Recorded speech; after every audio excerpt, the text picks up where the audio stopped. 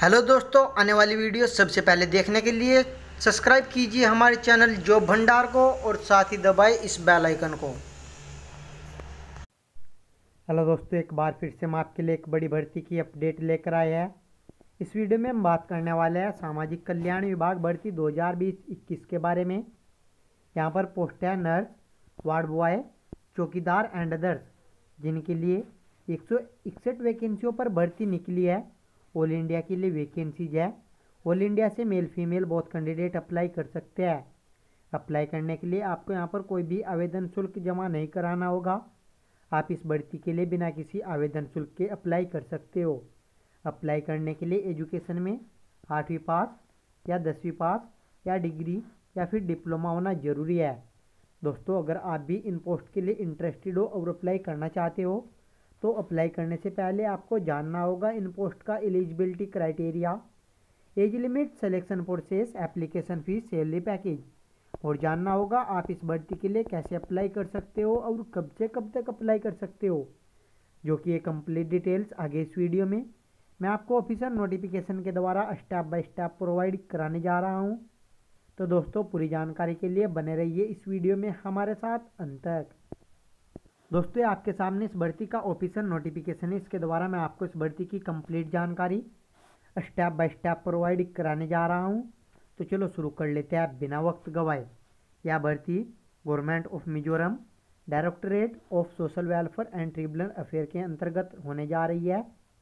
Job location है Mizoram, but all India से male female बहुत कैंडिडेट अप्लाई कर सकते हैं। बात कर लेते हैं कि यहाँ पर किस पोस्ट के लिए कितनी वैकेंसी निकली है। अप्लाई करने के लिए क्या एलिजिबिलिटी होना ज़रूरी है? प्रोजेक्ट कोऑर्डिनेटर, वोकेशनल काउंसलर के लिए दस वैकेंसीज है। सैलरी आपको मिलने वाली है पंद्रह हज़ार रुपये पर मंथ। अप्लाई करने के लिए एजुकेशन में ग्रेजुएट डिग्री। साथ ही साथ एक्सपीरियंस होना ज़रूरी है। और उसी के साथ कंप्यूटर नॉलेज भी होना ज़रूरी है। अकाउंटेंट कलर के लिए दस वैकेंसीज है। सैलरी आपको मिलने वाली है दस हज़ार रुपये पर मंथ। अप्लाई करने के लिए ग्रेजुएट डिग्री। साथ ही साथ कंप्यूटर नॉलेज होना ज़रूरी है। कुक की अगर बात की जाए तो इस पोस्ट पर दस वैकेंसीज है, आठ हज़ार रुपये सैलरी के मिलने वाले हैं। आठवीं पास कैंडिडेट अप्लाई कर सकते हैं। चौकीदार के लिए बीस वैकेंसीज है।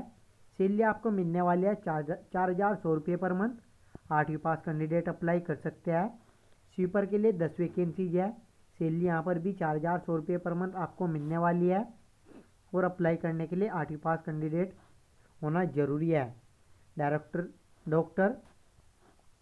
और डॉक्टर पार्ट टाइम के लिए यहाँ पर ग्यारह वैकेंसीज है। डॉक्टर के लिए पाँच हज़ार पाँच सौ रुपये आपको सैलरी के रूम में मिलने वाले हैं और डॉक्टर पार्ट टाइम के लिए सोलह हज़ार पाँच सौ रुपये आपको सैलरी के रूम में मिलने वाले हैं।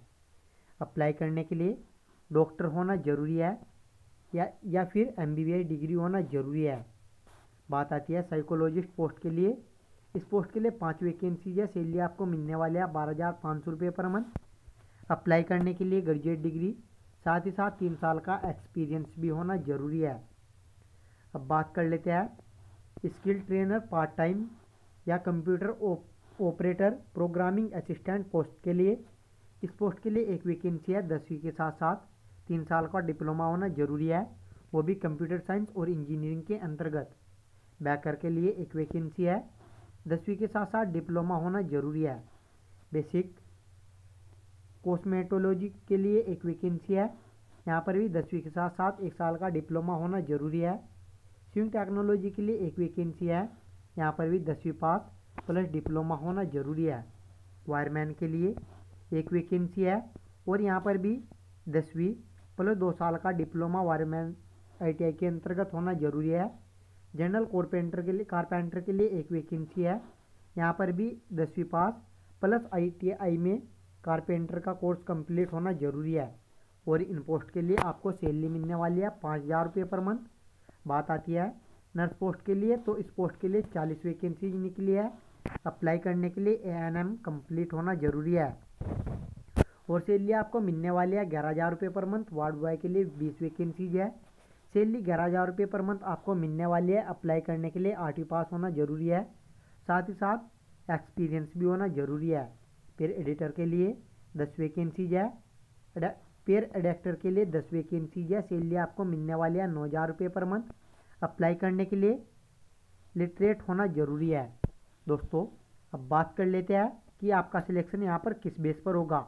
आपका सिलेक्शन इंटरव्यू के आधार पर होगा।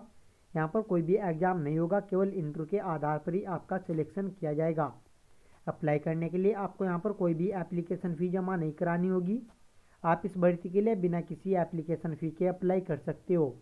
अप्लाई करने के लिए मिनिमम एज इक्कीस साल रखी गई है, मैक्सिमम एज पैंतीस साल रखी गई है। यहाँ पर अपर एज में एस सी कैंडिडेट को पाँच साल की छूट मिलने वाली है।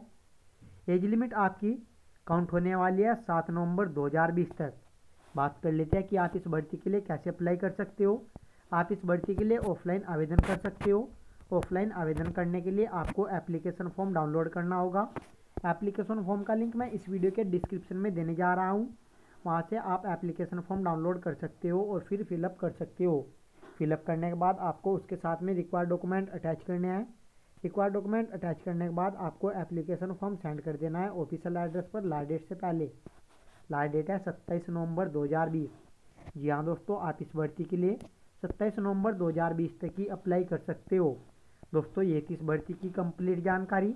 अगर अब भी आपको और ज़्यादा जानकारी चाहिए तो आप इस नोटिफिकेशन को डाउनलोड कर सकते हो। इस नोटिफिकेशन का लिंक मैं इस वीडियो के डिस्क्रिप्शन में देने जा रहा हूँ। वहाँ से आप इस नोटिफिकेशन को डाउनलोड करके इस भर्ती की कंप्लीट जानकारी आसानी से प्राप्त कर सकते हो और फिर अप्लाई कर सकते हो। दोस्तों, अगर आपके मन में इस भर्ती से रिलेटेड कोई भी सवाल हो तो आप हमें कमेंट के ज़रिए पूछ सकते हो। आई होप यह वीडियो आपको पसंद आई होगी। अगर पसंद आई हो तो इस वीडियो को लाइक और शेयर ज़रूर करें।